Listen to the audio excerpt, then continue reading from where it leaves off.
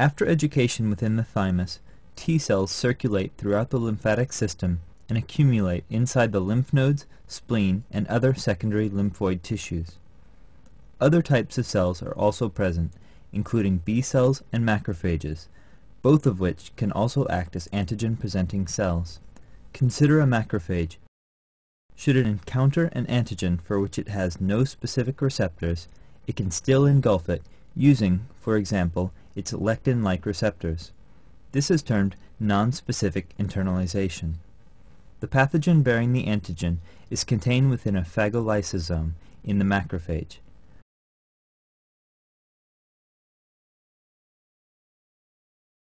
Other vesicles fuse with the phagosome, bringing proteolytic enzymes in.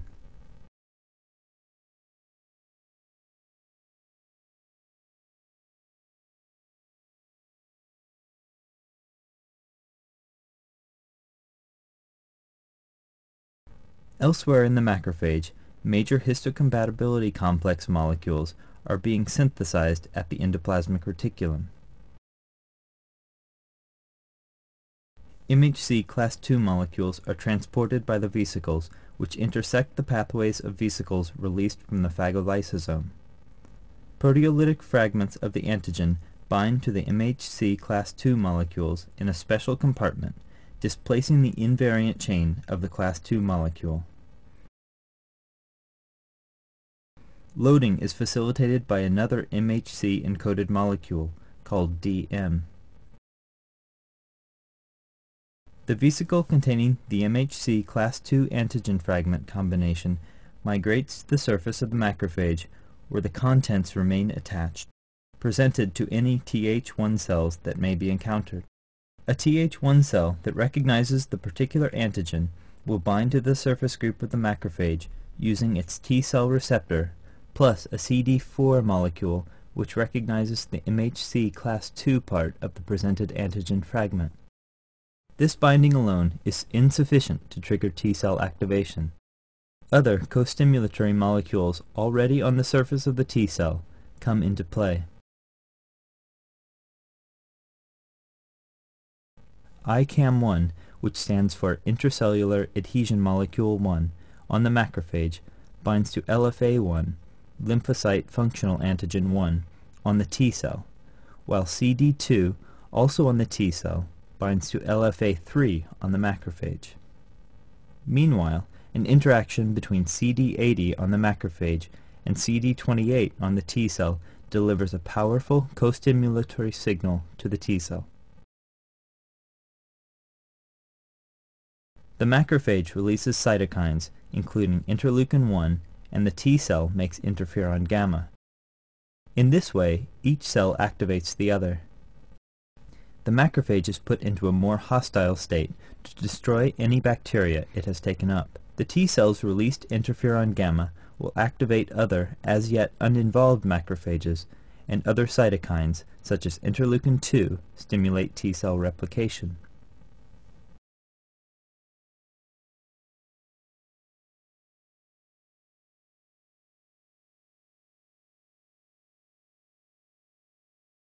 The macrophage is not the only cell capable of processing and presenting antigen. B cells are also able to perform this function. A B cell with the appropriate surface immunoglobulin receptor takes up the antigen. There's a huge variety in the types of receptors, so there will be a B cell suited to virtually any antigen. Recognition of most antigens depends on both T cells and B cells, so the B cell must present the antigen to T cells to determine whether an antibody response is appropriate. The antigen is internalized and degraded by proteolytic enzymes. These cleave off peptide fragments from the antigen.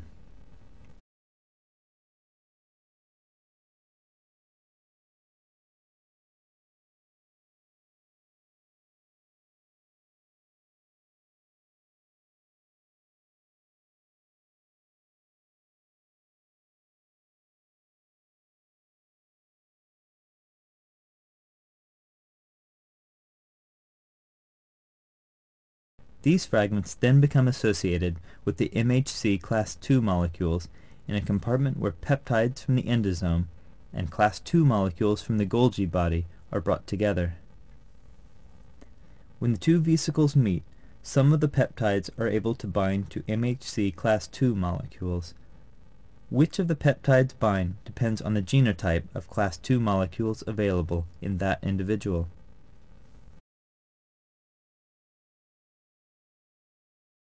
The vesicles carry the assembly to the surface of the B cell where it is presented. This antigen MHC class II complex is recognized by T helper cells.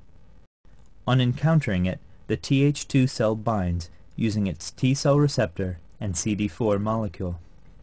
This is essentially the same as occurs between macrophages and Th1 cells. Where it differs is in the co-stimulatory molecules and cytokines involved. ICAM1 still interacts with LFA1, but is now joined by CD40, which pairs with the CD40 ligand on the T cell, and CD80, which pairs with CD28. CD40 is a molecule which stimulates B cell activation. The Th2 cell now releases cytokines, including interleukin-4 and interleukin-6.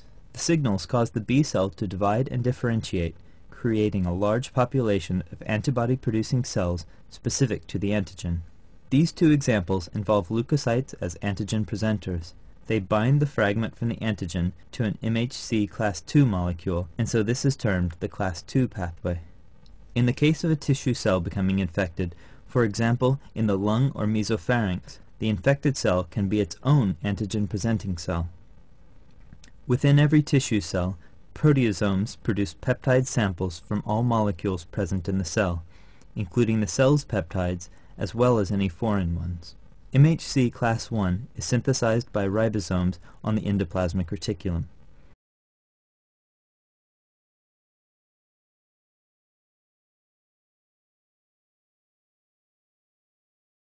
The peptide fragments are transported to the endoplasmic reticulum and loaded onto MHC class I molecules.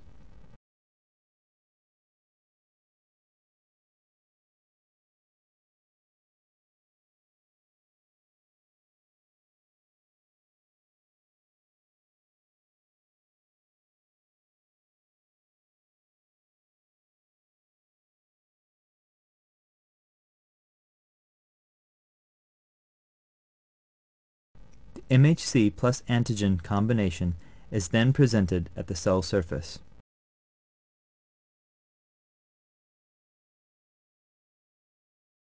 Cytotoxic T cells circulate through the entire body after their education in the thymus. Their T cell receptors are specific to any non-self peptide combined with an MHC class I molecule.